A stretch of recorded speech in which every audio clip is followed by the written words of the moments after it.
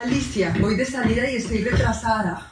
Solo necesito 10 minutos para hablar contigo. Mira, te voy a pedir un favor. Si necesitas hablar conmigo, llámame antes. Estoy muy ocupada.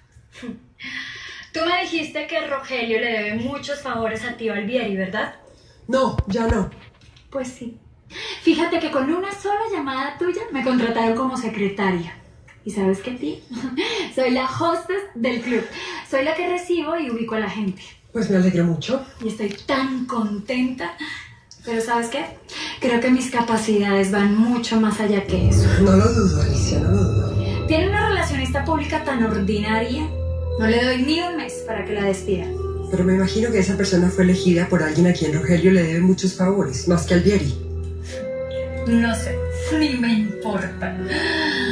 Tranquila, no te voy a pedir que le digas a Rogelio que la despida. Dime de una buena vez que quieres, ¿sí? Que cuando despidan a la loba esa, sugieras que sea yo quien la reemplace. Porque yo tengo mucho talento, ¿o no? Alicia, me asustas. ¿Por qué, tita? Deja de decirme tita, yo no soy tu tía. Está bien, tía. Alicia, ¿por qué tienes que desear lo que tiene otra gente? ¿Por qué tienes que quitarle las cosas a la gente? Ese sentimiento solamente tiene un nombre, se llama envidia. Pero si todo en el mundo tiene dueño, todo lo que queremos de la vida ya es de alguien. Y yo sé que puedo confiar en ti, tita.